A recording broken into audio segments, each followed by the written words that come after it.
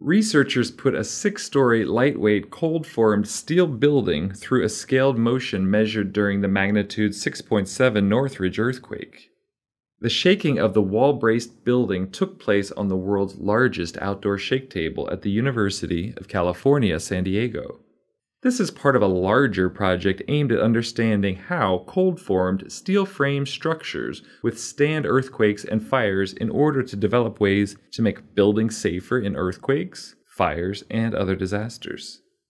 The researchers are deploying drones before, during, and after earthquake simulations, as well as during live fire tests, in order to map the structure and capture video of the damage.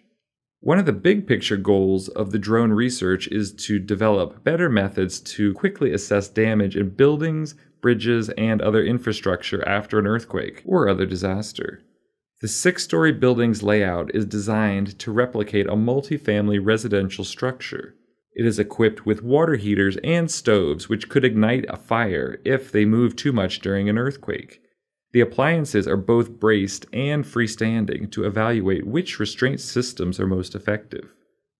This is the tallest cold formed steel frame structure to ever undergo tests on a shake table.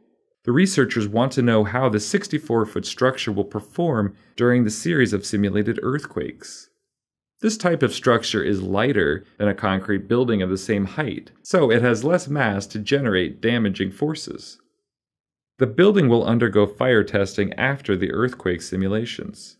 The researchers are working to evaluate the distribution of loads and failure mechanisms within the structural components of the building, and to validate computer models that can be used to predict a structure's performance during different earthquakes.